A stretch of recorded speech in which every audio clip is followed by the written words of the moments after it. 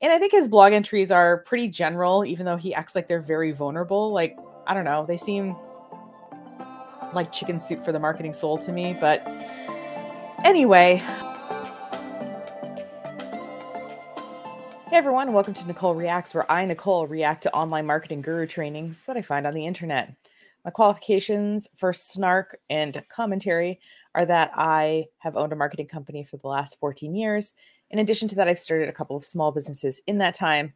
So I've seen marketing both from the agency providing marketing services side of things, as well as the small business owner needing marketing services side of things. So pretty comprehensive.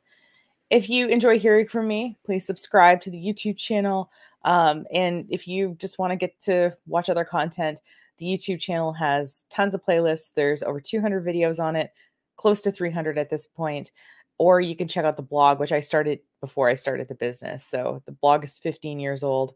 There's literally 1,500 blog posts on lots of different subject matters. So if you want to hear more from me, those are two good places to go.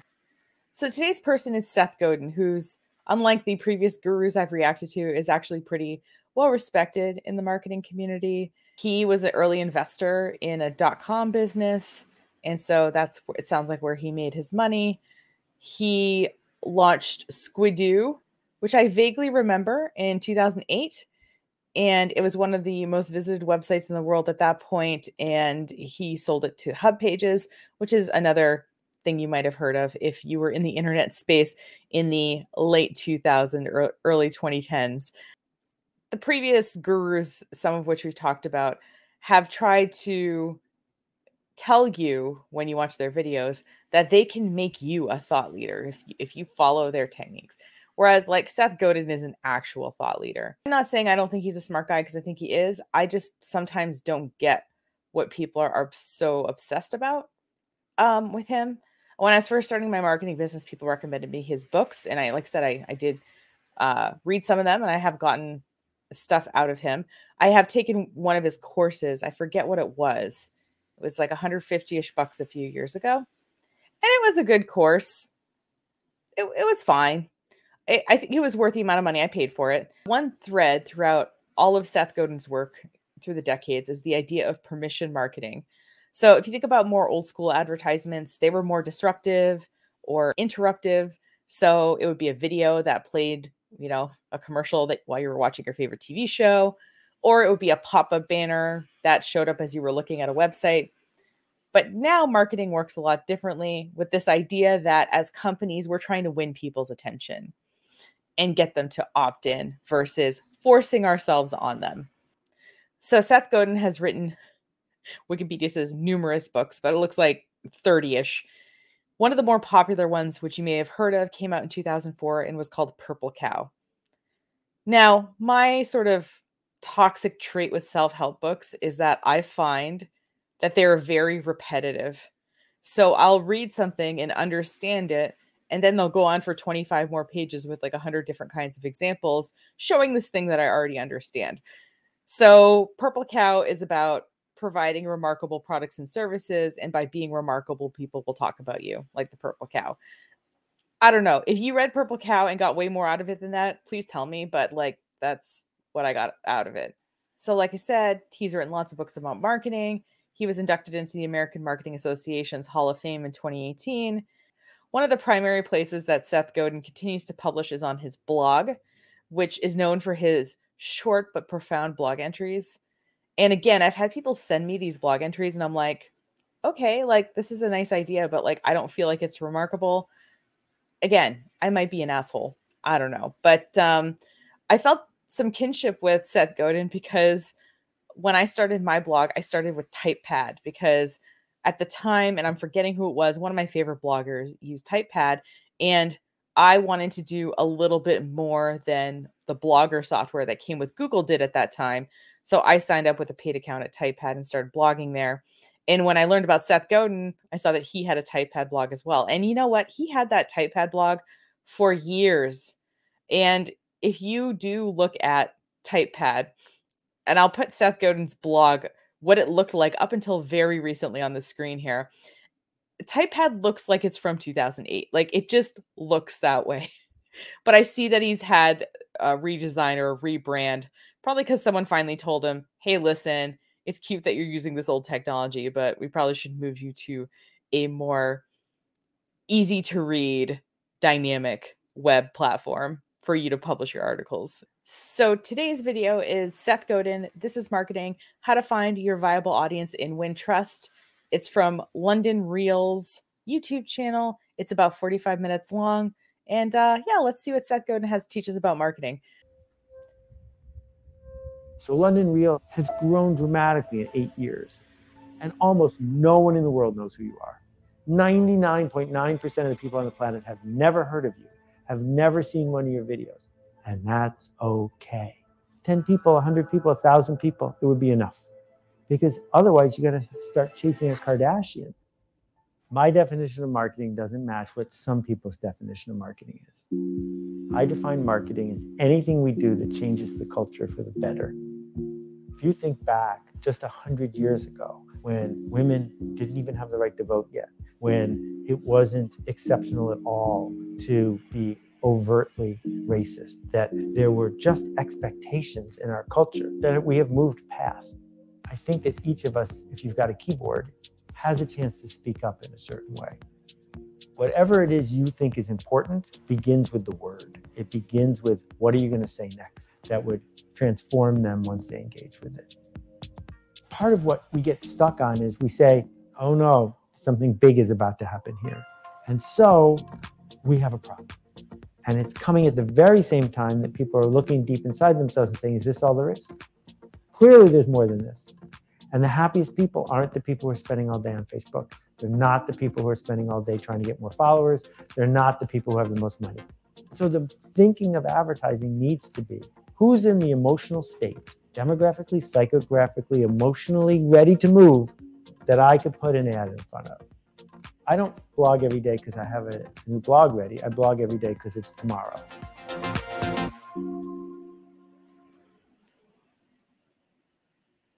Okay, I know we had inspirational music behind that. And I would sort of grasp onto parts of sentences he was saying. I I found that a little vague. Did you find that a little vague too? Maybe he'll get into it. Maybe that just was the cut reel to get us excited about what we're about to watch, but I found that a bit confusing myself. Hey guys, editing Nicole. I finally made it. I got my first copyright claim. It was basically for me showing the opening of the London Real video. Um, also, I'll just describe what was there. It was this guy, Brian Rose, who's going to be the dude in the aggressively red necktie interviewing Seth Godin. He's running a race. He's standing in front of crowds. He's uh, drinking slowly from what looks like a nice mug. You know, I think his trailer just feels like a sort of popularity, yes, with the speaking and all that, but also like experiences with the marathon and sort of some cultural stuff in there. Anyway, the original video is linked if you want to go watch it, but apparently I can't comment on it. So that's what that's about. I will say that I feel like I just watched a commercial for Seth Godin and then I was immediately shown another commercial for London Real, whoever that main guy was. And I will say, if we compare the London Real sort of trailer to the Gary Vee and the Kevin David trailer from previous videos, we'll see that we did see sort of a little bit of a lifestyle flex here in terms of like the large crowd of people, you know, him talking in front of that fancy looking camera. But it was more like showing experiences and less of showing stuff. And I'm wondering how much of that is cultural. So, like in the Kevin David video and the Gary Vee video, we're seeing like planes and and fancy cars and awards. And in this video, we're seeing him running a marathon and him being at these important events and him kind of being a thought leader. And underneath that, rather than it just being a music you know, little short music clip, it was him saying something. It was kind of, I don't know, vaguely motivational versus the Gary Vee and the Kevin David trailer just establishing their authority as rich people who know what they're doing. This seems like this guy has a message that he wants to push a little bit more. Um, I'd be curious if we watch the other London Real videos, if they all started the same way, but uh, let's continue.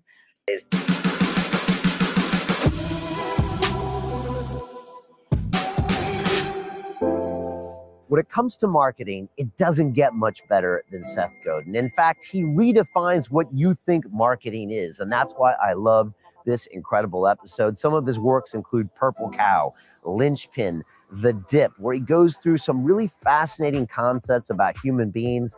The Dip is all about when you first learn something, you get really good at it, and then you start to suck at it. And if you put in the work, then you become the master purple cow is what it says. When you see something that's a purple cow, wow, that is incredible marketing. And we went on and on and on. Seth blogs every day. He says that's more important than training, meditation, any other kind of practice. And he also has a lot to say about what he calls the industrial education complex.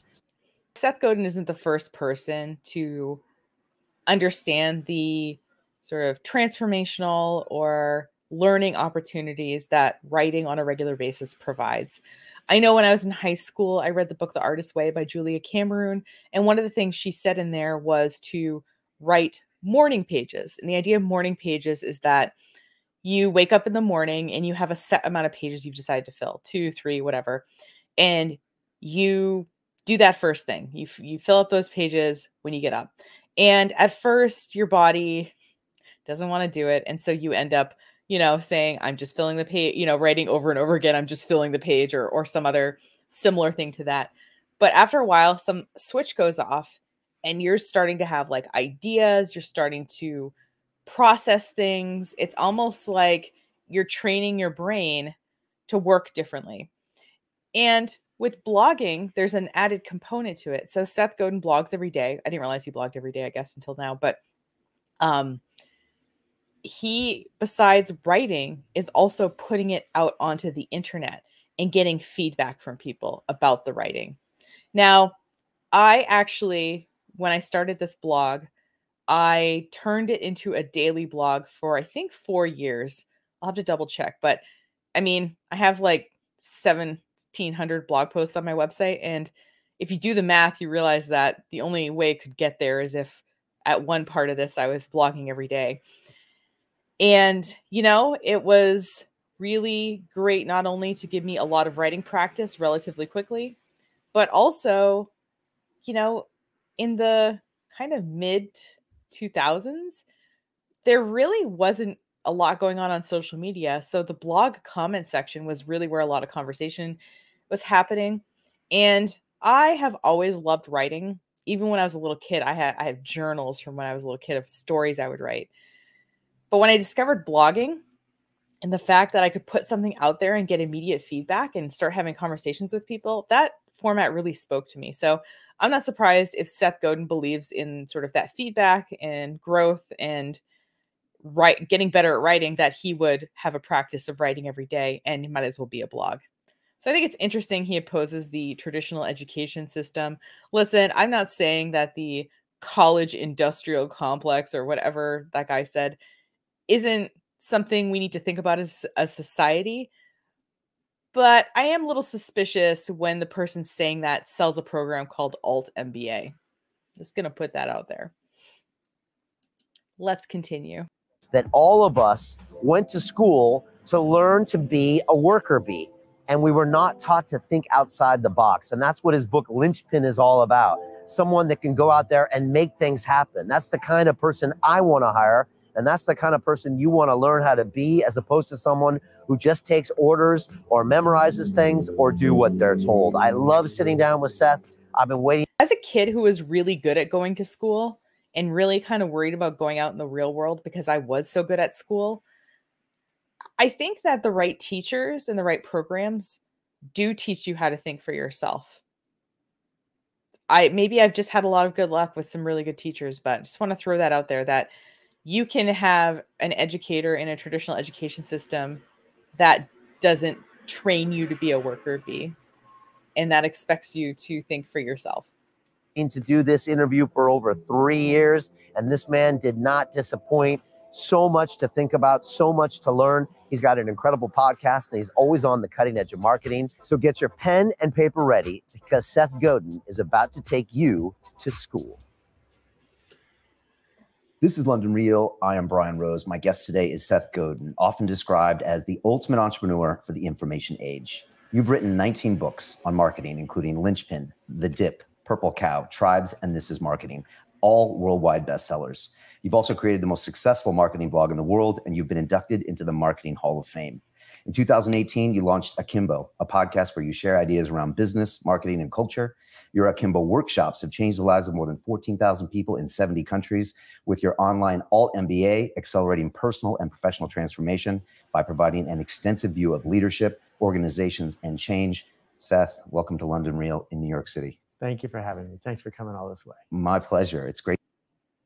Why is it called London Real if it's in New York City? I'm going to look maybe into that after this. To have you here. You know, as I look through all of your work, Seth, I always wonder if you might have inherited some type of marketing gene, you know, if it's somehow in your blood. And I'm wondering if you if you were always this way as a kid, you know, were you 8 years old giving lectures to your classmates about marketing because it seems to be part of who you are. Well, we need to clarify something right from the start. Okay my definition of marketing doesn't match what some people's definition of marketing is. I do not define marketing as hype, advertising, promotion, scamming, selfish, narcissistic, short term thinking, which is what a lot of people think of when they do marketing or when they are a marketer. I define marketing as anything we do that changes the culture for the better. If you're willing to take responsibility for the work you're doing and you're bringing something to the world then you're a marketer. Because if you do it better, it's going to work better than if you don't. And so, yeah, I've written uh, those bestsellers, but almost none of them belong in the quote marketing section because they're about things like mm-hmm. culture or technology or how we organize to move forward. So I agree. You know, I think part of my issue with Seth Godin's books are that I was told they were marketing books and I was trying to run a marketing company. And when I started, I, I was in a 220 square foot apartment. I was really nervous how it was going to go and had these very real problems in front of me. And I thought, okay, if I read a marketing book, it'll help me run my marketing business better. But a lot of his stuff is about like, like he said, like leadership and and creating company culture. And I was like, I'm just a woman in a studio apartment trying to make more than $250 a month on this. So I don't know, maybe I just didn't have the the privilege of having I guess the financial and other bandwidth to be able to see my company in this large scale way like I would be able to now. Have I been a marketer my whole life? I think everyone has, but I think that I've been more intentional about it from a really young age. Not because I was born with it. None of us were born able to walk or talk but because I decided it was important and I practiced it. Okay. Were you always looking for ways to make yourself better or make the world better when you were a kid, or did that come later? You know, through university and after that, when you started starting your own businesses and started yeah, writing? I you know I was really lucky with where I grew up and how I grew up. I won the birthday lottery, and um, certainly with you know the privilege that comes from being born in 1960 and where I was born, but also uh, my parents. My dad was the volunteer head of the United Way. My mom was the first woman on the board of the art museum in town. So Buffalo, New York is a little tiny place, uh, not that big a community of people who are leading. And so my parents certainly weren't wealthy, but we grew up acting like we uh, were leaders in the community. And so there were always people traipsing through my house. And I grew up thinking it was normal to decide to contribute in some way through example, through direct contribution, whatever it was. That's what normalized in my house. And part of the work I'm trying to do in the culture is now that we are not just in our house but online, the more we see that, the more we learn that what's expected of you is that you will be mm-hmm. part of something and make that thing better, the more likely people will act that way. I always watch, you know, the stories of the Kennedys, and it feels like they all knew they had to mm-hmm. contribute. I mean, you can, you know, love or hate their politics, but it felt like on that compound, they were always looking at everyone like, what are you going to do for the world? But that is a cultural thing because not everyone grew up with that expectation. So, Seth Godin and the Kennedys and I can include myself in the group of people that I'm referencing here, grew up privileged. We all grew up with families who made enough money working probably one full time job to support all of the needs in the household.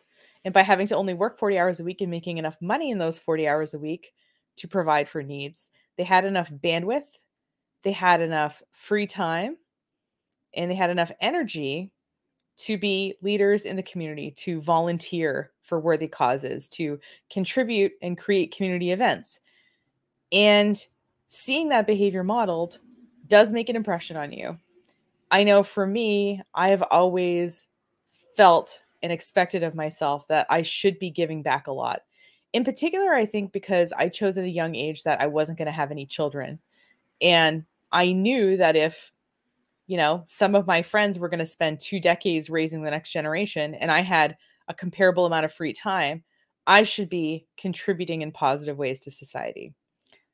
I feel differently about that after the pandemic, of course, but um, yeah, I think these things are being said with a lot of privilege, and I will be curious if that privilege is acknowledged in this broadcast. But in case it isn't, I'm acknowledging it now. That's right. And it's still a choice because some people who grow up with that expectation go in the opposite direction. But I think this idea of what we normalize in our culture is so important. If you think back just 100 years ago when women didn't even have the right to vote yet, when uh, it wasn't uh, exceptional at all to be overtly racist, that there were just expectations in our culture that we have moved past. And the fact is that the world is changing faster than ever. And today is the slowest it's ever going to change again. And that cycle keeps accelerating. The question is in which direction? And I think that each of us, if you've got a keyboard, if you've got a device that's connected to a billion people, has a chance to speak up in a certain way. So I've blogged every day for a lot of days in a row because it's a privilege. I don't get paid for it. I don't run ads on the blog. But the idea that you can share an idea and say, what do you think of this? Or I assert that and see how that contributes to the next thing, why wouldn't you? He came so close to saying what I wanted him to say. And he sort of kind of got around it. And I don't know if he didn't say it directly because he's talking to another white man, but at the beginning of this interview, he said he was born in 1960 and he won the birth lottery. He didn't say he won the birth lottery because he is a cis het white man born in the 1960s and so therefore was listened to and has been listened to with a lot more authority than maybe people who've had similar ideas but looked different than him were. But he blogs every day and he says it's a privilege to and I wanted him to say it's because he makes enough money that he has the free time to be able to write every day. I really wish he would have said those things more directly, but let's continue. Told me that blogging every day is probably better than meditating every day, cold showers, working out. You said that's probably one of the best things you can do as a personal practice. I for do, anybody. I think that's true. I think everyone should blog every day, even if you do it under another name. Like I get that some people don't want to reveal their own self in this way. So great, do or it under a, a pseudonym. Out? Well, it depends. I mean, we live in a world where um, people can show up uninvited in your email box. You don't have to welcome them into your email box. That's fine. But the act, you know, I don't blog every day because I have a, a new blog ready. I blog every day because it's tomorrow.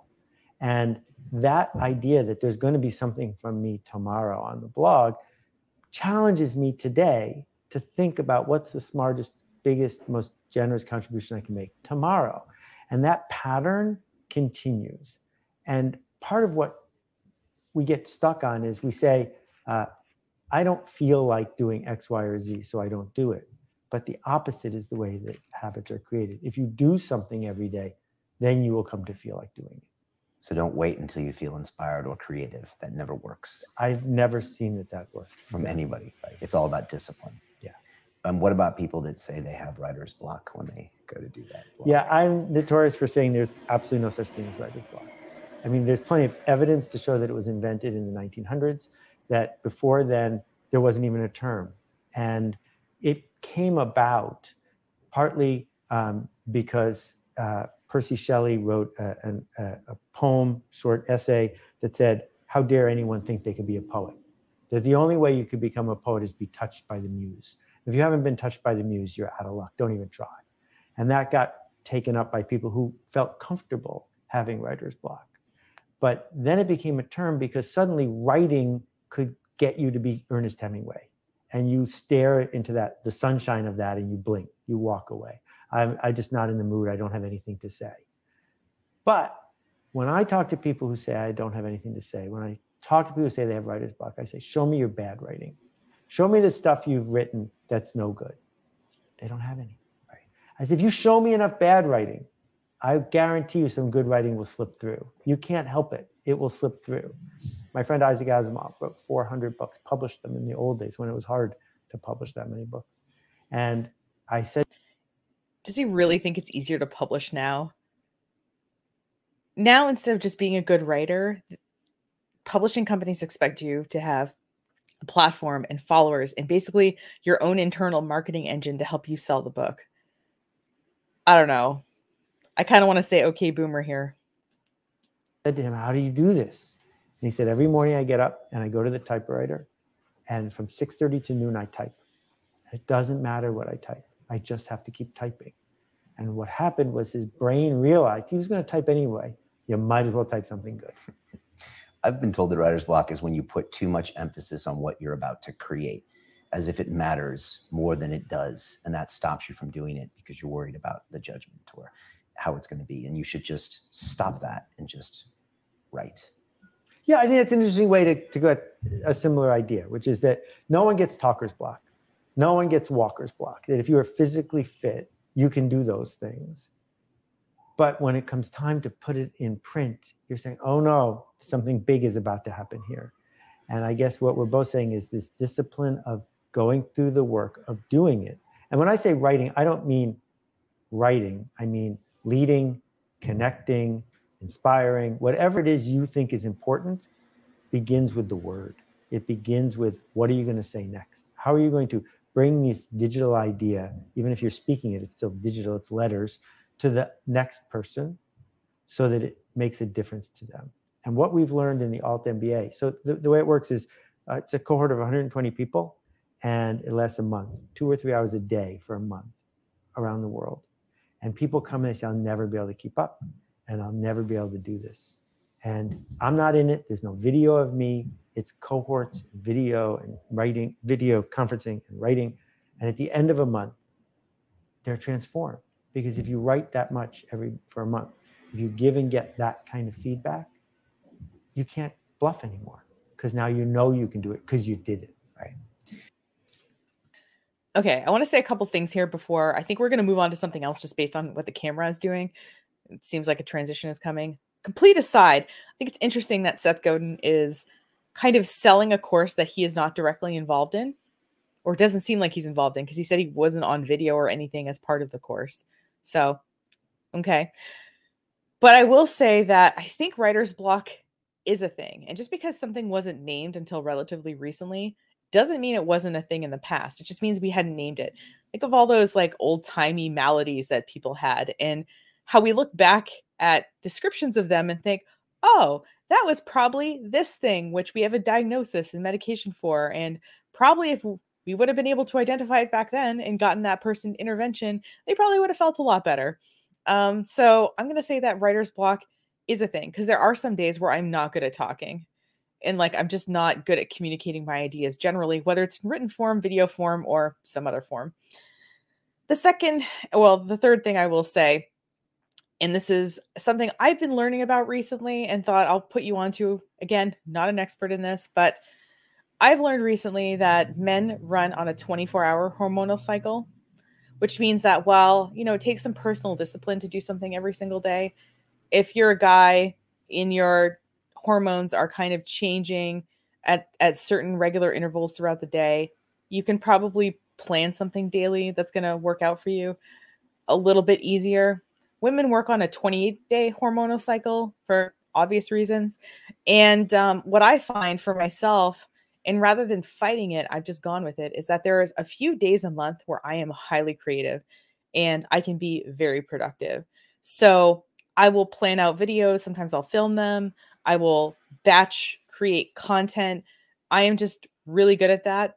And so while the content will be released on a regular interval, I am creating it at a time where I am feeling the most creative rather than fighting my hormonal cycle because there are times where um, it probably wouldn't be impossible to create, but it would certainly be a lot harder. So I will find a few articles from people who know way more than I do about this, but I just want to mention that here um, that part of the whole kind of pandemic shift, maybe for me and other people who are, you know, um, you know, assigned women at birth or who are neurodivergent, is that we have been folding ourselves to fit into a workplace in a society that does not work for us energetically or otherwise.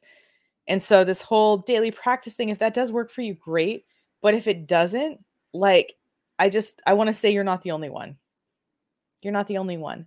And you know the example he used of a guy who wrote for 6 hours every day, imagine that you had no interruptions from 6 a.m. to noon. Imagine your life where that was a possibility, where someone else took care of your kids or your, you know, household generally, where someone else answered the phone, where someone else is like helping you protect your time. And you could do that consistently without bad things happening to you. Imagine that privilege. But again, we're not talking of, we're mentioning privilege without acknowledging super directly our privilege. And um, like I said, I just wonder if a, I don't know, black woman was conducting this interview, if this conversation would be different. I, I'm so curious, but does a vlog count instead of a blog? Like, can you put the camera on your? I agree. I think a blog a vlog counts. I think any creative thing. If he's like, you should do a creative practice every day. If if a video is your thing, if an audio is your thing, I feel like whatever creative work it is, if a painting is your thing, I think it should count. But we'll see if Seth agrees with me. And talk to camera for five minutes, knowing you're going to have to publish it. Would that? I think it does, qualify? as long as you aren't talking about what you had for dinner. Okay. Right. I think that there's this vanity thing that goes on on the internet that doesn't help anybody. And it's this faux authenticity of uh, eavesdropping on somebody else's life. And that's a fine way to entertain. I also want to say for this video, I know I tried recording a video at my office and the background noise didn't help. So I'm comfy here in my pajama bottoms and slippers in my apartment in normal location. If you're hearing a lot of traffic noise, that's actually them. That's not that traffic noise is me, an occasional kind of truck going by, but I'm I'm in very rural traffic. We're hearing honking, we're hearing kind of a lot more city noises, and that's on their end. So I just wanted to mention that here. Uh, I don't think it's productive, but it, it works for entertainment purposes, but that's not scary. It's not scary to say, here I am walking my dog, ha ha ha. If it doesn't feel scary, then you haven't trained, you haven't moved forward. Okay. So that writing could be a blog or it could be some type of leadership or writing a proposal to someone, but get and write something, which means you're creating something, which could be judged, which means also could be great. Okay, Seth Godin talks about writing stuff that feels scary or vulnerable. Okay, not faux, not faux vulnerability, but actual vulnerability. I want to read one of his blog posts. It's pretty short. Okay, and tell me if this feels like vulnerable or or raw or very risky to you to write. So the title is "Speeding Up for the Red Light," and this is the content. Bad drivers do this often, everywhere I've ever been in the world. Instead of gracefully and safely slowing for a light, they know they will be red by the time they get there, or even a stop sign, they hit the gas and then slam the brakes. One big reason is that the certainty of the on then off is a lot easier for them to navigate than a thoughtful approach to transitions. If you're going to have to stop soon, perhaps you should start coasting now. And of course, we all make the breaking mistake in our daily lives. A transition doesn't have to be a crisis unless we want it to be. So that's, I would say, pretty characteristic of his blog. Okay, did that piece I just read for you, did that feel like risky or did that feel like somebody would have a very strong opinion about that piece one way or the other? Because I, it didn't feel vulnerable to me. And when I read his blog, it's a lot of general platitudes or general stories like that. that don't feel vulnerable to me. I don't know. Anybody else? I feel like it's one of those things where like I'm just maybe missing something. That exactly. and it could change the world and help other people. Exactly. Which I know one of your the people you looked up to was Zig Ziglar, who said, I, am probably going to totally bludgeon this, but if you want to have a meaningful life, make life meaningful for other people. Is that right? I even like that better than what Zig said. okay. I like that a lot better. Zig said, you can get anything in life you want if you'll help enough other people get what they want. I've always thought that Zig Ziglar quote was kind of manipulative. You can get everything in life you want if you help enough other people get what they want. It sounds, it makes relationships sound transactional. And I also don't think, by the way, I've had tens of thousands of people read my blog. Okay. I mean, I'm not saying I'm not a household name. I never will be. But I do not think one of my blogs has changed anyone's life. I feel like probably somebody saw my stuff and felt maybe encouraged or thought it was funny. But like this whole like one blog post could change someone's life implying that and then wondering why people have writer's block or worry about what they're putting out there is like it's hard to hold those two things at the same time. At least it is for me. And my challenge with that is the quid pro quo part, right? That because he came from a sales background, implied in that is, well, I'm your insurance broker, and if I help you get a golf game, you'll buy insurance from me. And that doesn't work for me. And so I truncated it to you can get everything in life you want if you'll just help enough other people. Right. Period. Period. Right? That that's enough. Just the privilege of being of service. And I like the fact that you added meaning to it. It's really good. Well, okay. I agree with Seth Godin there. Because it can't have a contingency, otherwise it taints right. the original product. Exactly. You have to literally be willing to selflessly give, not expecting anything back. You know, no payment, no congratulations, even just give it, and that's when it becomes this, its best form. I think. Right. Exactly you know, with all the people connected in the world that can blog or create, are you do you feel optimistic about what we're going or is it is it look harder these days because there's also an equal number of messages that are you know vanity and narcissistic how do you- so how people who are established in their industry answer the the questions you know so if you were getting into this now do you think it would be harder or easier? Which is sort of the question that was being asked. Um, and if you ask them a follow-up question are is there people who are doing things marketing wise that you admire? Like who are just kind of getting started? I think the answer to those kind of two related questions will tell you a lot about somebody. And i'll be curious what they tell us about seth here. How do you feel right now about the world? Well there are really big discussions to have about you know what's the mean temperature of the ocean and i think we almost everybody is minimizing the impact it's going to have when a billion people lose their homes. But that wasn't question. Uh, the idea of the media ecosystem and all the noise that's out there, and what happens when you give everyone a microphone. You know, Steve Martin famously said that uh, half the people are below average, and it doesn't matter what you're measuring, they are. And the idea that we used to have a gatekeeper for who got a microphone was good and bad. It was bad because it silenced voices we needed to hear. But it was good because it also kept microphones away from people who wanted to tear things down. Really? Are we pro gatekeeper here? So this pisses me off because the implication here with what Seth is saying is that the people who are gatekeepers had the skill and the talent, and that's why they got to where they were getting, versus them having, I don't know, a father in the business or an extreme amount of privilege, right? And for me, I was told in my early 20s that I was not good a good enough writer to write for a newspaper.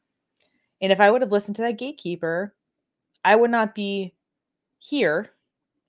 And I have literally been paid by hundreds of clients to write things for them because I'm good at it.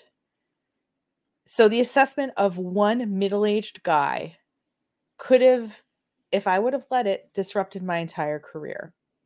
So no, I don't think gatekeepers are a good thing. I think everybody puts stuff out there and the public or people decide who's talented. I can decide who I want to listen to and who I don't want to listen to. And if someone wants to tear something down, maybe it wasn't that good to begin with. Your privilege is showing. when I think about what is on offer from the social media networks, it's really important to decode this. You are not their customer, you are their product. You did not pay them to use Twitter or Facebook. They are selling you to someone else. So they've created a regime where they make us feel bad all day long. And the only way to feel less bad is to click something. That's the cycle that they've built. And the problem with that cycle and the easily measured number of how many followers you have is it pushes people to be prurient, pushes people to be angry, it pushes people to tear folks down because that's what sells. If it bleeds, it leads, right? But it doesn't build a culture that we're proud of. I've sat in news meetings where we talked about how many papers we sold one week versus another and compared the front page and talked about the image that was there versus the headline. We have always cared about numbers. We have always sold controversy. The fact that it's online now and that there is more of it does not mean it wasn't a problem before. Okay. Okay. And the alternative is to say, I don't care how many people are following me. And I'm never going to hit the boost button because my job is not to make Facebook happy, nor is it to make Twitter happy. My job is to create a body of work that I'm proud of. And if we can embrace the idea of a smallest viable audience, not the biggest possible audience, but what's the audience that could sustain you? So London Real has grown dramatically in eight years, and almost no one in the world knows who you are. 99.9% of the people on the planet have never heard of you, have never seen one of your videos, and that's okay. And getting comfortable with that is the foundation we need to do our work because otherwise you're going to start chasing a Kardashian. I love the look on the guy's face when he was like, when Seth Godin was like, a bunch of people have never even heard of you, and they banned to the guy's face. It was great. but I once wrote a blog post about why I think you only need 250 fans. I- will link it in the show notes in case you want to read it. It was written a long time ago, but I think it's still true. And the problem with that is we have a Kardashian already. We don't need another one of those. What we need is one of these. And the way to be one of these is to say 10 people, 100 people, 1,000 people, it would be enough. And once you can get comfortable with enough in a world of infinity, it doesn't really matter how noisy it is. And you talk about this in your book, Tribe, um, about focusing on that, that small audience. And Kevin Kelly has the famous blog, Thousand True Fans. We've had right. him on the show. And I try to teach my students this as well in the academy. And when I, I do it, we have a big Zoom call and their faces go blank. And yep. I said, you got to find a micro niche and I'm going to push you to go more micro, yep. two more levels than you're going to want to. Exactly. And this guy hasn't gone micro. He's just inter he's interviewing a bunch of thought leaders. What's his micro niche? So it's like they're saying don't care about fans or whatever. But the reason that I'm able to sell you a course, able to sell you a book, able to sell you anything is because I have a lot of fans. But don't don't care about don't care about that. Care about this other thing. I don't know. They have to understand why people would want that, right? Why people would want a large audience, how it makes a lot of things possible. And they have the flexibility to say, well, they, they don't care about a large audience because they both have large audiences. And uh, they never want to. Because, you know why they don't want to? Because I think they believe that the bigger the audience, the more successful they'll be. But there's probably something more subtle. I think there's something more subtle. What, what is it? I think we don't want to be on the hook. On the hook. Meaning, if there's only three people in the world you're making this for and they don't like it, you're toast. Got it. Right? That this whole idea of Kanban, making the supply chain really thin, making sure that the quality of each piece is just right for those three people, makes it a much bigger obligation on your part. Whereas if it's a million people, you're like, whatever, fine, you didn't like it, go ahead, I got others, plenty of them. And that shift, that's where it becomes magical. Mm. And if you name any artist who has stood the test of time in whatever field, that is what they did. What they did is worried about a few and ignored, shunned the non believers. So it's the accountability that actually. Can we have an actual example of this? Because I feel like the kind of people I can think of are people who make like custom furniture or something like that, who make something very specific for a specific group of people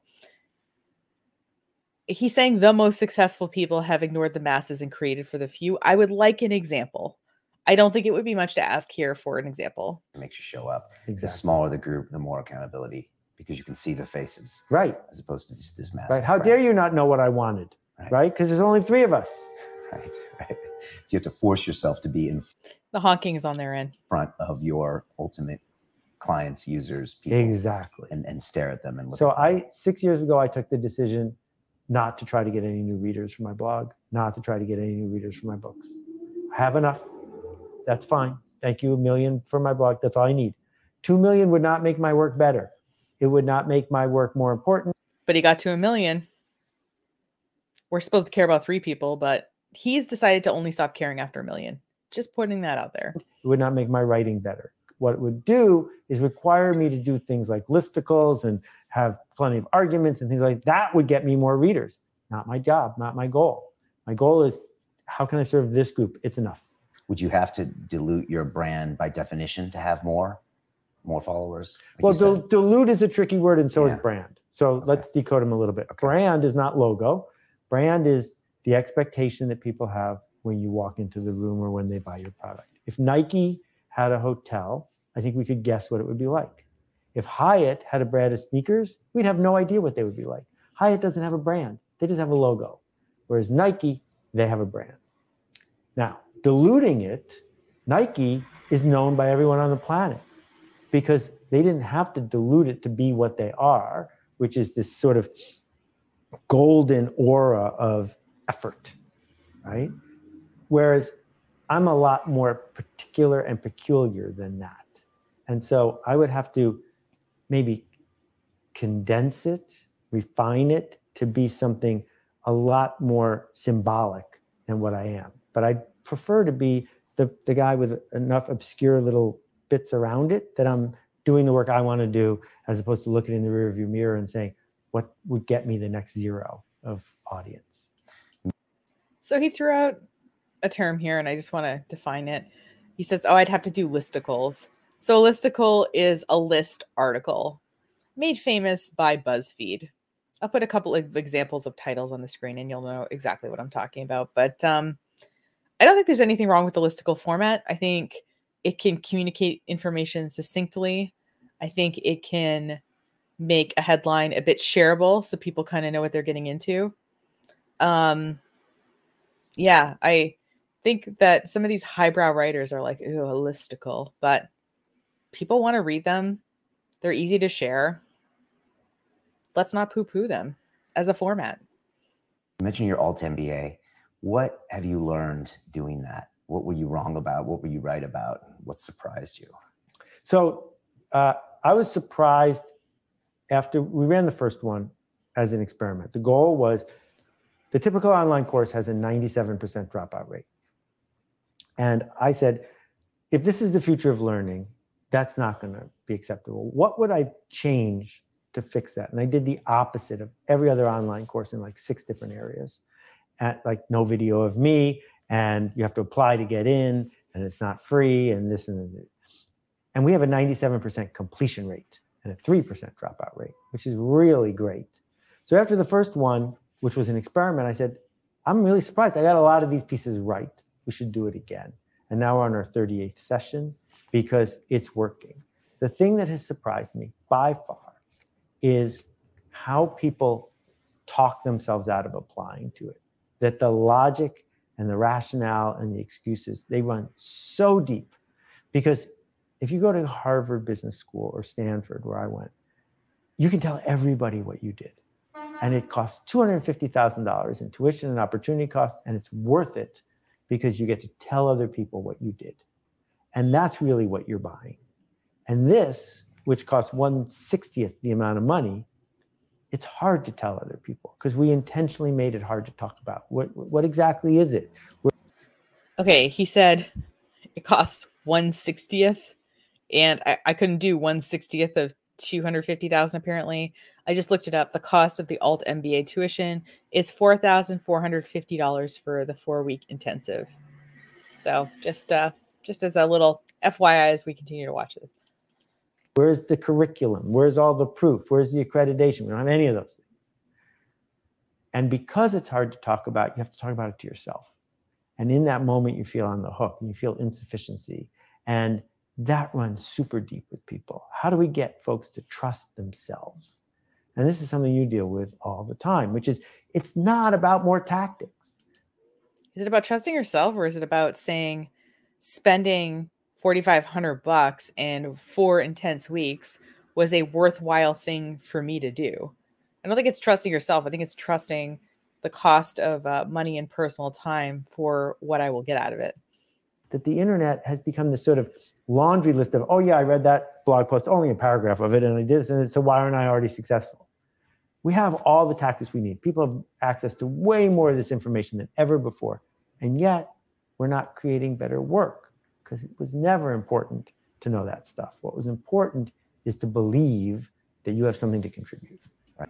Are we really saying that there isn't better work out there now than there was 10 years ago on the internet? Because if, if that's what they're saying, I disagree. I think I think there is better work coming out. I mean, I think there's more work coming out, which is to say that some of it's not going to be fantastic, but I have seen some truly clever and uh, well presented and interesting and thoughtful communications online more so than I've seen ever. So I disagree. Right. And to get someone to walk into that fearful moment. Correct and these days at a distance without a personal meeting. Um, have you found ways of getting people to do that? Because I mean, that's the essence of what I do in my academy. I often say, Seth Godin, how do you get people to pay for your academy? Because I want to steal some of those secrets and get people to come to mine. I have many guises of courses, public speaking, broadcasting, business. But at the end of the day, I push people into their fears to realize right. they're stronger than they are and they have a voice and they walk out with confidence. Right. So the marketer in me who started to learn marketing from Jay Levinson and all the rest of my heroes years and years and years ago wants there to be a top down funnel. And in fact, there isn't. That the stuff I wrote about 10 books ago is the answer, which is the only way we're going to get more students is if, is if our students get us more students. That it's the peer to peer connection in a low trust world that leads culture to change. You don't change culture with the Super Bowl, whether it's a Super Bowl ad or a Super Bowl halftime show, it has no impact whatsoever.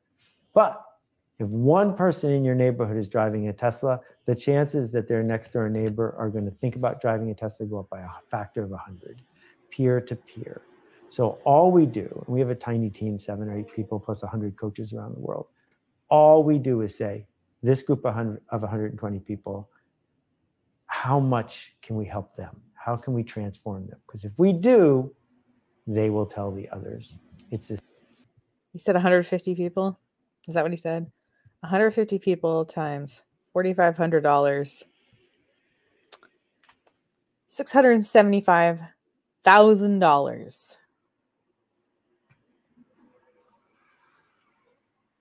I could say that would support a staff of eight and 100 instructors uh, 1099 contractors. Yeah. Slow, organic thing that is way more frustrating than raising $100 million and blowing it on Super Bowl ads. But it's actually how you change the culture. Make a great product, deliver wow, and then wait for them to tell other people. And they will only tell other people if it helps them. They will not tell other people because it helps you. And that's a really big transformation. So the fax machine. The first person who had a fax, what did they do with it? Because you can't send a fax to yourself because you'll get a busy signal. What you have to do is tell everyone you know to go get a fax machine because then your life will be better. You don't do it to help Ricoh or Canon. You do it because your life is better if other people you work with have a fax or an email account or whatever. Or in the case of Tony Robbins, if you work with influencers and pay a hefty commission fee for them to get people to sign up for your personal development events through their affiliate link. That's another way to do it. Well, the same thing is true with these kinds of transformations, which is if I want to be able to talk to you the way I learned to talk, I need you to go do it too, because otherwise I you won't get where I'm going. So it's that selfish ratchet that's also generous because I want to help my friend. That's why people talk about it. And so sometimes people who make a product that they think of as perfect right? Like, you know, if someone makes a coffee mug that's better designed than any other coffee mug that has Six Sigma quality, say, why doesn't anyone talk about it? Well, the reason they're not talking about it is it doesn't help them to talk about your damn coffee mug, right? And if there was a reason that I needed to talk about your coffee mug because it would help my status, authority, or life, I'd be more likely to do it. Hmm. And so you're alt MBA. Ideally, it's someone in a business that takes it and then says, wow, if my colleagues only could think this way, we could get a lot more done. Or is it also if my wife could think this way? Or like, how does that spread right. in the ideal world for so, you? So uh, the range has been a 16 year old young woman, a 78 year old woman from the Isle of Man, um, people who are poets and run nonprofits, people who work at Amazon, Microsoft, Chobani, uh, name your favorite computer company or big company, and everything in between. So we we called it the Alt MBA because I had a good six letter domain hanging around and I used it. Not the perfect name because of the alt part and the MBA part, but when you mish it all together, at least it's something that's ours. But we don't teach anything you learn in an alt MBA. That's in, a, in an MBA. That's the point. That the point is that the MBA teaches all of the wrong things. It teaches industrial compliance. It teaches adherence to things that you can read in a book. And what we're trying to do is say to people, you don't need any more tactics. We just want you to think differently. And we have found our, probably our biggest resonance 45% of people take it get reimbursed by their company. But the people who go through it write to us, they're better parents, they're better spouses, they're better executives, they got promoted, whatever it is that was on their agenda. And a lot of them changed their agenda. They thought, I wanted to move up in this hierarchy, but I realized that's a trap and I'm going to do this thing instead. So it's really disruptive at changing your perception of what you even want. And so I'm not going to pigeonhole it by demographics. We're really focused on psychographics. What almost everyone who takes it has in common is they say to themselves, there has to be more to it than this, whatever it is. There has to be more to life, more to work, more to my job, more to my company than what I have right now. If that's what you feel inside, this is for you. If you don't feel that way, I can't help. But a lot of people are feeling that way. I think so. And maybe that comes from the, you know, industrial education complex. Maybe that comes from the self-help industrial complex that is rampant on social media. The television education, uh, industrial complex, which I want to talk about. You went to Stanford for an MBA. Right. Was there, what did you get from that? What did you not get from that? So you road um, tested one of the best. Yeah. It, I was the second or third youngest person in my class.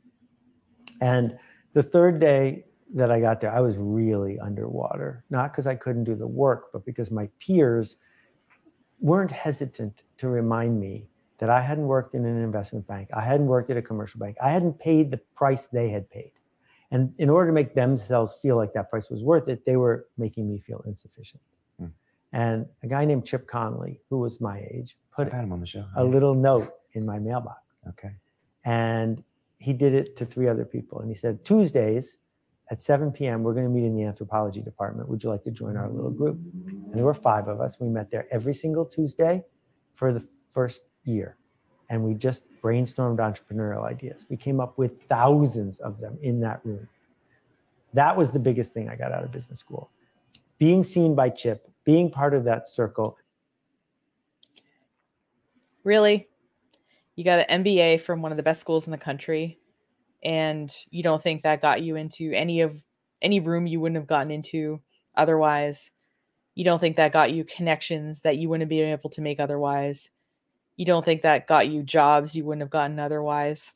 Come on. Realizing that I had something to contribute was magical. And the second thing I got out of business school was the summer job that I got, which I couldn't have gotten without it. And that was in Boston. And the story of that is that I got a job at, for the summer as the assistant to the president of Activision in California, fastest growing company in the history of the world, assistant to the president. Activision, gaming yeah. company. Yeah. Okay. And uh, they were on a roller coaster ride. It was amazing. And at the last minute, I found out I couldn't stay in California. I had to get back to Boston to be uh, with my family. And so I only had four weeks to find a job. And I almost got a job offer from Lotus, the people who invented this, the PC spreadsheet. I almost got a job at uh, Hayden Software, the people who did Sargon, the chess program. They, however, interviewed me at the International House of Pancakes and turned me down. So then there were two possibilities left. One was Parker Brothers, and I'm a gaming guy and have been forever. Parker Brothers offered me a job in their computer game division, which was thrilling. It was Parker Brothers. And then I got a job offer from a little tiny company called Spinnaker. Was the 30th person, and they were inventing educational computer games, which didn't exist at the time. And I don't know why I turned down the Parker Brothers job. Something inside of me just said, don't do that. And two weeks into the summer, Parker Brothers shut down the entire division and fired every single person. Mm. So dodge that bullet. And I get to Spinnaker, and it turns out the chairman who had hired me forgot to tell anyone else in the company that I was coming. So the president comes out, shakes my hand, goes back into his office, shuts the door, and calls the chairman, says, Who's that guy? So off to a rough start. But during that summer, I learned how to be a product manager. And at the end of the summer, they took me aside and they said, We have a secret project, but it's going to start right now. Are you willing to go to business school and this at the same time? So I went to class at Stanford on Monday and Tuesday, flew on the red eye, went to work in Boston for Wednesday and Thursday, and then flew back to California. And finally, one of the professors at Stanford took pity on me and just gave me a degree, and I never went back again, which was super nice. But that job, that job changed everything for me. And I think of it almost every day. What? Okay, so he wouldn't have gotten that job without Stanford. And they paid for him to go to Stanford, maybe as well, to finish his MBA. I don't I don't quite know there, but the only two things I got out of it were th- was this connection that made me feel worthwhile and the job that changed my life. That's all I got out of it. You know, no biggie. What did what did you learn doing that? I learned uh, mostly that there wasn't anyone who was going to teach me to be a marketer or a brand manager or a uh, negotiator or someone who was going to deal with uh, leading a team of engineers. I ended up having 40 people working for me, even though none of them were direct reports. I worked with Isaac Asimov and Arthur C. Clarke and Michael Crichton, who I, like Michael, I just called and did a deal with him. I was 24 years old, but no one was stopping me. So I just did. And this was practice for the internet because what it showed me was that, yes, I had the backing. It wasn't my money on the table, but that I was able to weave together things, products that people love we shipped Fahrenheit 451 based on Ray Bradbury's novel. It was a computer game. And uh, two days after we shipped it, I get a call in my office because there's no email. And it's Herbie Hancock, like the Herbie Hancock. And he says, Man, I just want to tell you, I just finished the game. It was fan. I was like, Wait, wait, wait, wait, wait. What just happened here? And then I was hooked. Then I was hooked.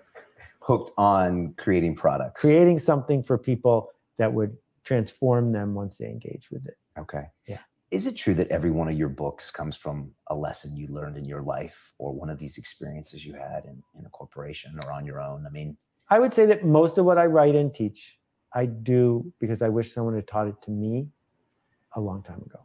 That if I, what I do for a living is I notice things. Why is it like this? Like, why in New York City do you have to show a driver's license to get into an office building? How is showing a driver's license? Bad guys don't have driver's licenses. If someone is going to infiltrate an office building and do an evil deed, how will a driver's license keep them from doing that? Right? And I notice this, and some people notice this and they get frustrated. I try to decode it. And sometimes if I decode something and it feels more universal than just the noise in my head, I'll share it. Because once it's seen, then you can work with it. And I like when I learn something about how the world works from someone else because it helps me get through a situation because I understand it better. And- Again, I would love an example of somebody he's learned from and how he's incorporated what he learned into his worldview. I feel like he talks sometimes like other people are sort of involved in his learning or that he's, you know, I know that he's an observer of the world, but that also the implication is that he's kind of a collector of information from talking to other people or from reading books or something. I don't know. I feel like an example here would be would be helpful and kind of show how maybe other people could um, incorporate that kind of learning from other people into their own lives. And so with every book that i've written what i'm saying is i'm noticing this thing in the world.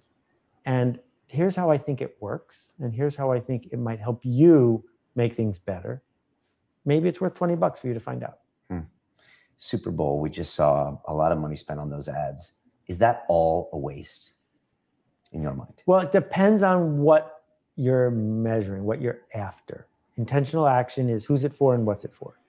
So if you sell beer or chips, it has been shown that at halftime, you make enough money from sales at convenience stores to pay for the ad you ran during the first quarter.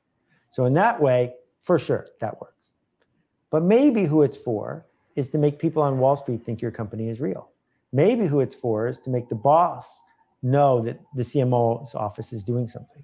Maybe what it's for is to bring in your best clients to wherever the Super Bowl is being held because you get to have a box. So it's for a lot of things. But if the question is, does it sell more cars or does it sell more anything? The answer is no. And the reason is really simple, which is this advertising works better when it's specific, meaning advertising cars to people who don't know how to. That that sirens them. I had a siren go by a while ago. I tried to mute myself, but this video has a lot more background noise. But I guess they did say it was filmed in New York City, and I am not in New York City, so. Drive is a waste of money. Advertising chips to people who don't eat chips is a waste of money. That's one of the reasons why Facebook is so profitable because you can reach exactly who you want psychographically or demographically. Why would you pay a premium to reach everyone? You should pay less to reach everyone because everyone is worth less than someone. And so the thinking of advertising needs to be who's in the emotional state, demographically, psychographically, emotionally ready to move that I could put an ad in front of. Now, what they know at Mercedes is that they have to run $1,000 worth of ads to sell one Mercedes, and it's worth it to them. They don't know which one of those $1,000 worth of ads is going to reach the right person on the right day, so they got to run all the other ones too. But it doesn't make sense to run Mercedes ads in a country where they don't sell Mercedes because you're never going to get anyone. So being this is a lot like um, I'll link the Gary Vee video that I reacted to um, in the show notes. But um, there's a lot of similarities here between what Seth Godin is talking about and what Gary Vee was talking about in that video. Specific, again, as we said a little while ago, is really scary because if you pick your audience and you're wrong, that's on you. The Super Bowl, way less scary. It's not your money. Let's reach everyone. And guess what? We'll get to sit in the box. When you look at the Fortune 500 companies, how many of those get it right when it comes to their marketing, their advertising? You mentioned Mercedes. Right. So Fortune 500 companies are basically nation states that the people who run them are royalty. They have their own army and air force. They are surrounded by lieutenants and, you know, there's a court and the whole thing. You got to be really incompetent to screw up a Fortune 500 company in the short run. In the short run, the market wants a boring product that's proven in the center at a reasonable price because it's deniable. Oh, I bought what everyone else bought. So, and also in that kind of company, you have a lot of people around you who have expertise and institutional knowledge who can help be guiding your decisions. So, yeah, I could see that. The history, almost none of the Fortune 500 is the same as it was in 1950. They get replaced. Why? Because they keep doing what they were doing because that's what they're getting paid to do until the world changes. It's the innovator's dilemma. Exactly. This is the innovator's dilemma. Okay. Clayton, rest in peace. And um, and so then they disappear. But along the way, until recently, that was fine because you could retire before that happened. So I worked with Kodak years ago, and uh, a friend of mine did a lot of consulting for them. And the, the Kodak, most people know, invented the digital camera as well and owned all the patents. And as film was dying, Kodak was just churning into film as hard as they can. And my friend said to the CEO, You're going to have to scale back the film thing. And he said to her, Come over here, look out the window. He says, How many buildings do you see out there? And she started counting. He said, I'll tell you, it's 38.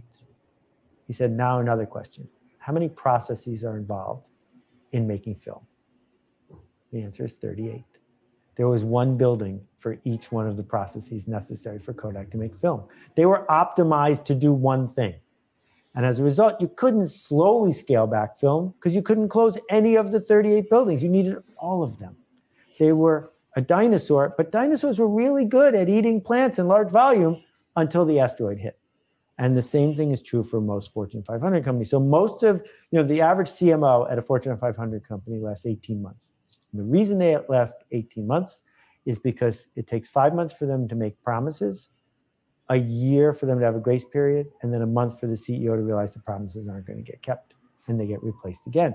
Because unlike every other department at the company, the CMO promises to change everything. The CMO promises miracles. Accounting never promises miracles. Production doesn't, right? Yeah. But, but marketing does. And so they're hiring the. So I've never been the CEO of anything or worked at a big company, but I have had multiple business owners sit across the table from me crying, hoping that the marketing that I am going to do is going to save their business. I'm not sure if we necessarily, I don't know if the CMOs make promises. I mean, they might. But what I'm also wondering is does the company expect the most from marketing? When things are going bad, do we look to marketing and say, okay, more marketing is going to save us or better marketing is going to save us? It's just, I'm just asking because, like I said, I have had people who really think that the Facebook and Instagram and the email marketing I could do for them or whatever group of things it is is going to save their entire business when the business has been downtrending for literally years. And I don't think it's a fair ask. And I'm always really um, kind but straightforward with them about what what can and can't be expected from the work that we're going to do. And sometimes if I think it's going to be a waste of their money and they should do other things instead, I, I will say that. So for for what it's worth. Yeah, they might make promises to big companies. I can't say that, but I will say marketing is the first thing that's cut when things aren't going well as like dead weight and it is the place that people look to when everything has gone to crap. Well, maybe we can sell more. I don't know. I feel like sometimes it's a uh, it's a weird position to be in. The wrong people for the wrong reason. If you want a miracle, you're not going to change it by changing your ads. You're going to get the miracle by closing 19 of the 38 buildings. Going to get the miracle by changing who you hire and how you. Exactly. Yeah. Usually, if someone's sitting with me talking about how they want to change marketing, they often need to like change their pricing or, you know, put money into their building because it's like run down and giving people a bad experience, or it's usually something big. And it's usually something that I, as the marketing person, have no control over you hire them. Those are marketing acts. You just don't call them marketing. And that will never happen in a Fortune 500 company because you can't turn that ship. Innovator's dilemma. It's or can it happen every now and then? Every now and then it has happened and it can happen. We certainly saw Satya do it at Microsoft. It's happened at Microsoft a couple of times. It uh, Apple did it right up to the edge of bankruptcy right. once, right? That Nintendo wasn't a Fortune 500 company, but they made playing cards and then they didn't. So it can be done. But the thing is, humans shouldn't care that much about the name on the door. We need to care about the people. Okay. I just need you to know the sirens are, are on their end and I can't control it. And so if the place you're at isn't working anymore, just leave and go to a place that is working because there's nothing keeping you there. The momentum, the sunk costs should be ignored. And you should say, I'm only going to get tomorrow one time. If I have tomorrow to do over again, how will I do it? You mentioned intentional action. Right. It's something you talk to people a lot that it's the actions that matter, not the thoughts and not the, the dreams. Can you explain that to people? Well, we're we're scared of intent because if you announce your intent even to yourself, makes it way more likely you're going to fail. Right? So we go into the store and someone says, "Can I help you?" you say, "I'm just looking." I'm just looking is a statement of no intent. And that's the way many people have been trained to go through life because the system wants you to have no intent. It wants you to do your job, get paid, buy stuff, put it in a storage unit, watch TV, repeat. No intent. And as soon as we start having intent, we hesitate because who are we to do it? So I'm currently reading the 48 Laws of Power now. And part of the reason is that I am curious about a book that was banned in certain prisons and other places. But the main reason I'm doing it is that I am seeing that my work is taking me to larger clients and organizations. I'm sitting in rooms with like bigger business people and I want to understand a little bit more of what might be going on because my brain honestly doesn't work that way. I'm a kind of straightforward person, which you've probably figured out from watching this channel. But law number three is conceal your intentions, which is the opposite of what Seth Godin is saying to do here.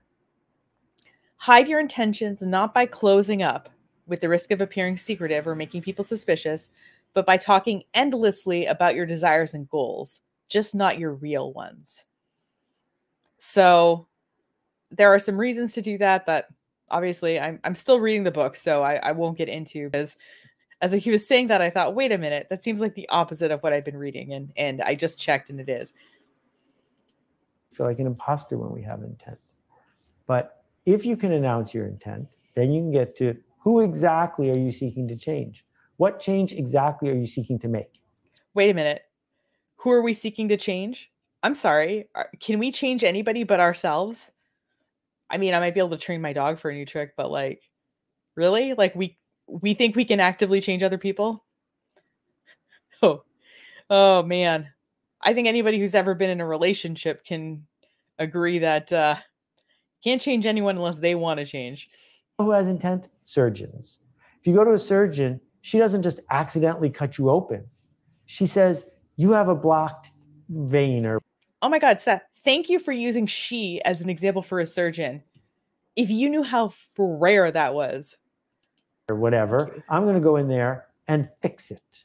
Intent. It either works or it doesn't work. And that action, whether we work for a company or on our own, can fuel us doing ever better work because we can say, I set out to do this and it either worked and I'm sorry it did, or it worked and I'm glad it did, or I could have done it better and here's how.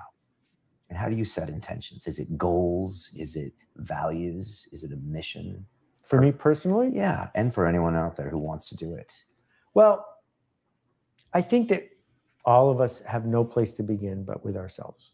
What turns us on? What gives us a smile? What would uh, make our late parents happy? What do what would happen to our status with our neighbors and our role in the community if X, Y, or Z happened? So okay, making dead people happy and doing things to elevate our status. Yeah, that doesn't at all sound like a fool's errand. We always begin there. Even the most selfless person on earth. You know, you're diving in to a, a, a shark infested waters to save someone's life. Well, yes, saving their life is important, but part of the reason it's important is you want to be the kind of person that would have do- done that act and saved that person's life. Being that kind of person is better than walking away and watching them drown. So that's where we begin, which is getting clear in our head about what are the shifts we seek to make to become the person we want to be. And then there's a, a series of choices we have to make, but I think they're easier if we have habits habits get us results. Goals are results. But you can't having the goal of I'm going to make a number one bestseller. What do you, that didn't tell me anything. Whereas having the goal of I'm going to write every single day and I'm going to learn this and this, and maybe the byproduct is that there's a bestseller at the end. Those are different things. So I'm way more focused on habits than I am on specific goals that are out of your control besides your daily writing, what are some of the other habits you've adopted over the years? Um, I ask why a lot. Uh, I have rules for myself that I make once and then I don't negotiate them again. So I haven't had a piece of meat or chicken since 1980 something because I just don't want to keep revisiting the question, right? I made a good. So I am famous for researching something, thinking about something, making a decision and not revisiting it. But sometimes you have to. And I'll use a per- I'll use an example in the company. Um, I've used MailChimp since it came out. I don't know what number customer I was, but I was one of the first ones 14 years ago, 13 years ago. And since they got bought by Intuit, the product just has gotten worse and harder to deal with. So we're moving our email marketing to SendGrid right now, and we're running a test. We're probably going to move everything to SendGrid within two months. But I'm going from paying $80 to, for a product I don't like to $14 for a product that I like a lot better. So sometimes new things come on the market, new information comes into your brain, and you have to accommodate it. So while we can admire somebody who sticks to a decision, we can also say that having this be a consistent value for you and not revisiting things when you should and changing the decision might limit you personally and professionally. Good decision. The decision has served me well. I'm done with that decision. I'm going to go on to the next one. Uh, the habit of ignoring sunk costs, which is really hard, which is to say, it doesn't matter how much it took me to get to X. If I don't want X anymore, I shouldn't keep with that. I agree with that. Um, the idea of not having a meeting, I don't have meetings. Uh, I will have one on one conversations all the time. But it's very hard to persuade me to sit in a room with three or four or six people as we go around the room and do X, Y, or Z. Send me a memo, put it in Slack. I don't need to do that. And as a result of no TV and no memos, I have six or seven hours every day that most people don't have. To continue watching the rest of the episode for free, visit our website, londonreal.tv, or click the link in the description below. Ooh, tricky London Real. I see what you did there.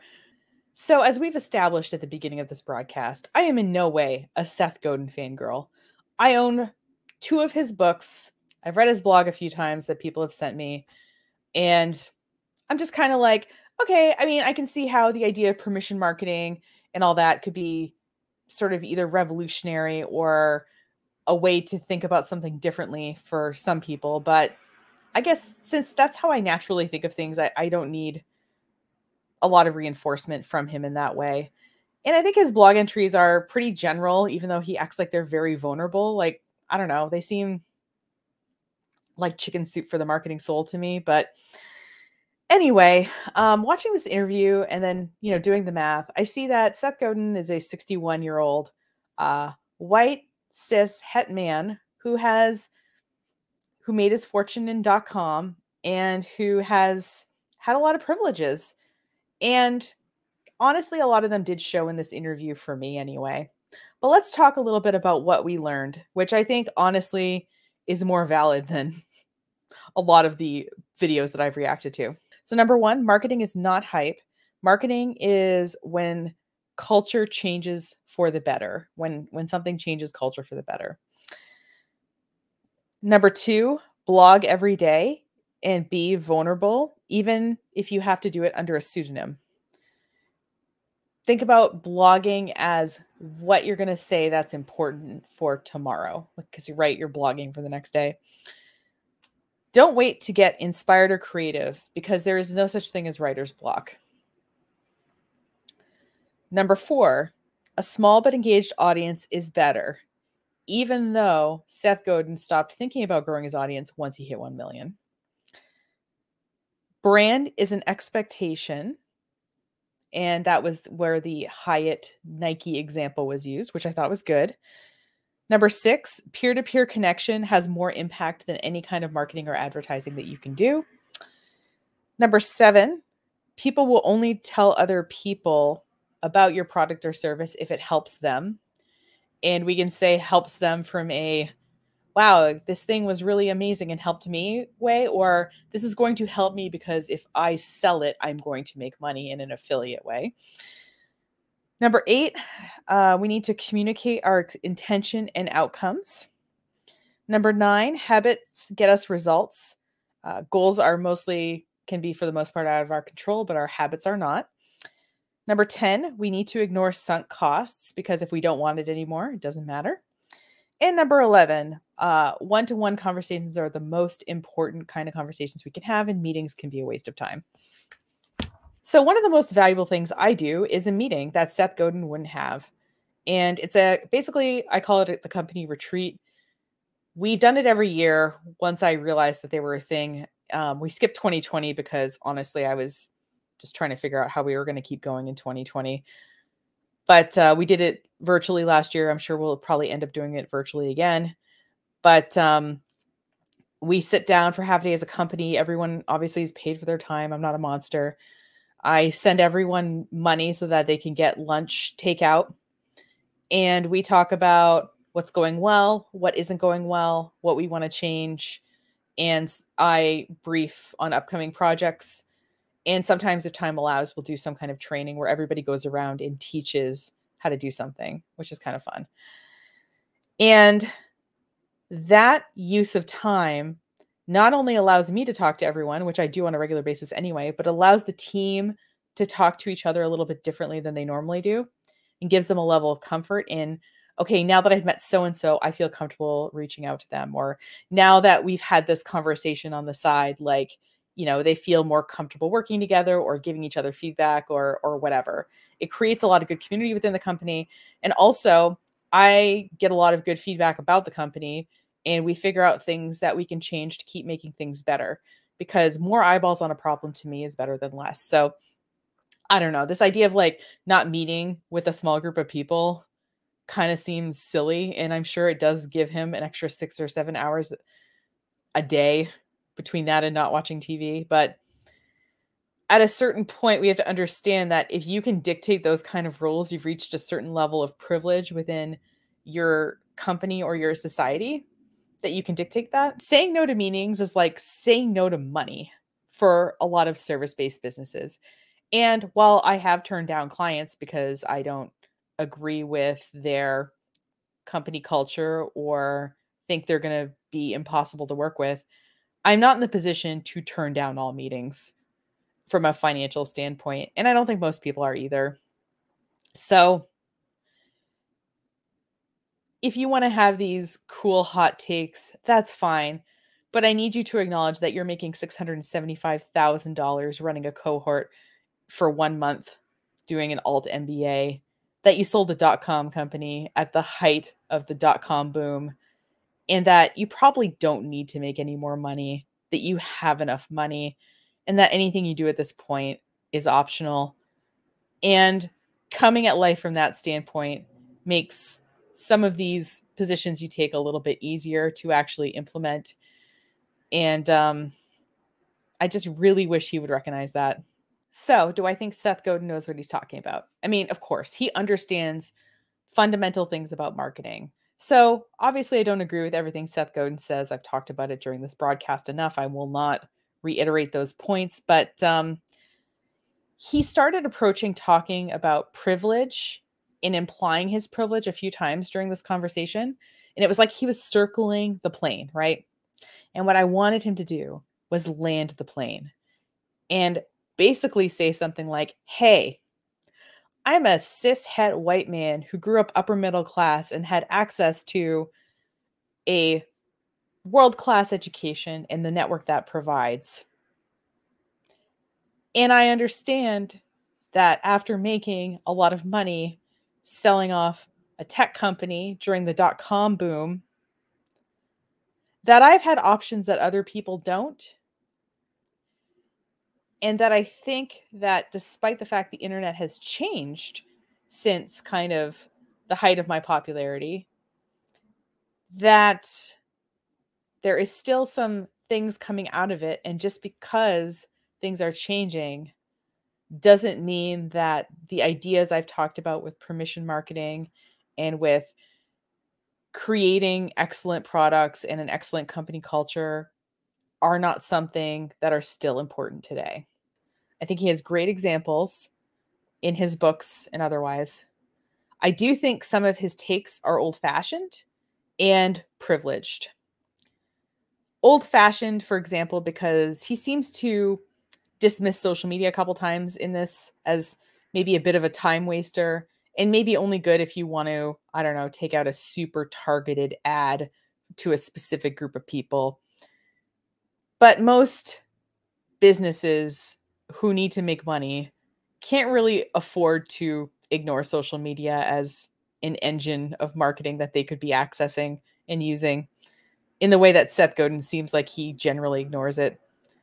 And I also wish that he would use his privilege to elevate people who are doing new and interesting things, voices maybe that aren't being heard as loudly as his, to say, hey, this, you know, young woman of color is doing excellent things, or hey, this, you know, a person is doing amazing work on TikTok.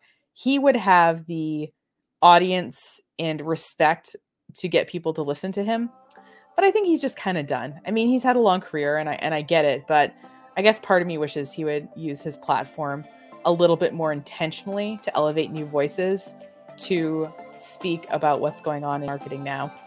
So thanks so much for watching. If you want to watch more videos like this, check out the Nicole Reacts playlist on the YouTube channel, which has all the videos in the series.